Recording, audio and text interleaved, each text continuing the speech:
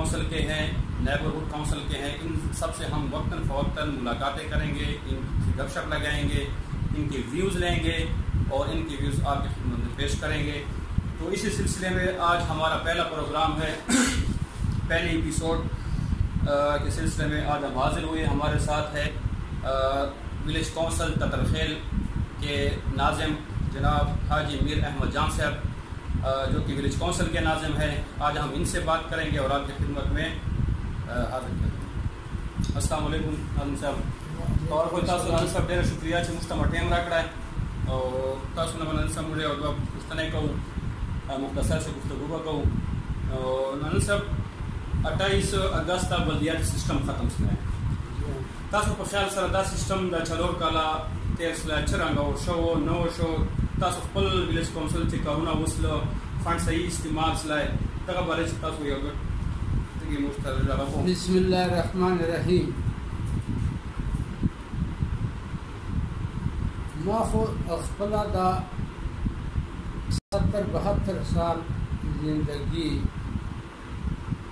چې دورا تجربه لړ ډېر سره ده چې څنګه دا دغه هغه چې کوم نظام دا داوی چې دغه نادیمان وچلې ده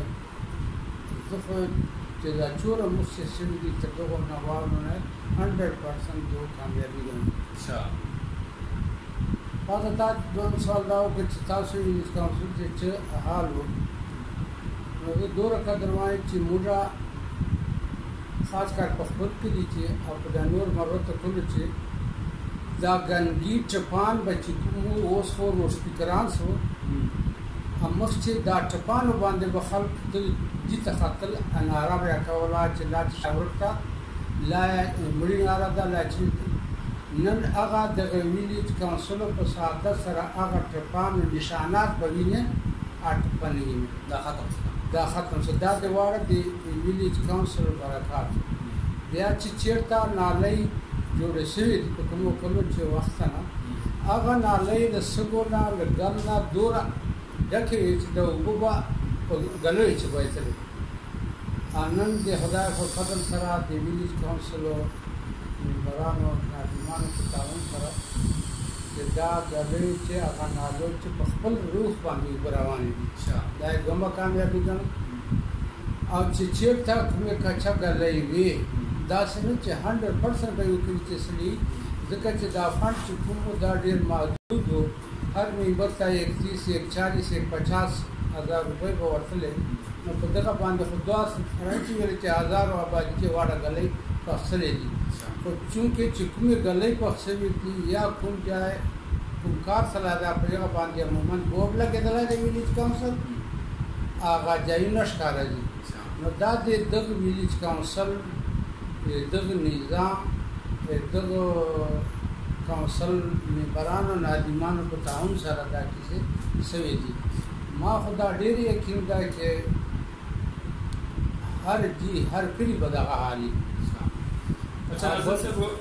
دی چه لکه دا سیستم تاسو وویل چه دی لکه ډوره فایدی وسله صفایی وسله نالی ګلی مه جوړی کړی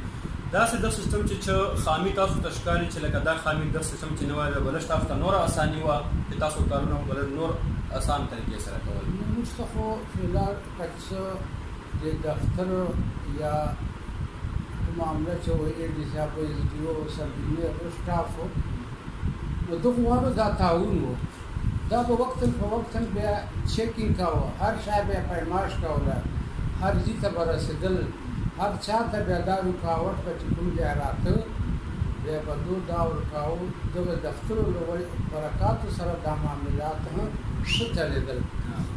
او آینده دې پاره دې خدای پاک دغسې ښه وچلوي.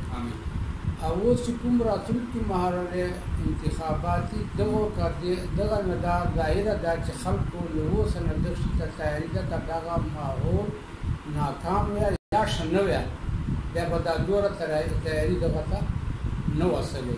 خلک لا اوسه نه جذبات دي چې څه وخت به یې چې دا الیکشن اعلان وسی او داخلې وکړي تاسو نه صاحب مخته الیکشن ته خیال ستا خپله ذاتي ته ورباندې تیاری بس ذاتي ته ورباندې خو به زه ځان ته داسې نه وایم ځکه چې به هر تر سال عمر چې روان یم دوره وجود لا غړي لا مغز مچار نه کوي خو بهرحال دا سیټ چې کوم دا دا بر صورت کوونکه ده ما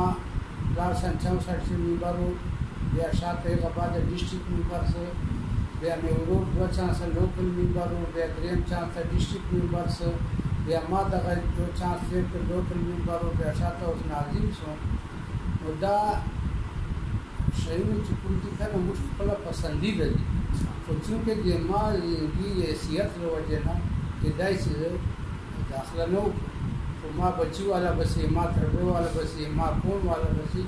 ما مرګری والا بسی نو دا شی به چې همغه دغه قائل یو ا بنیادی کوو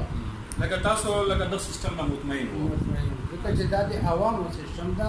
عوامو په برکت سره عوامو په تعاون سره هر څه کیږي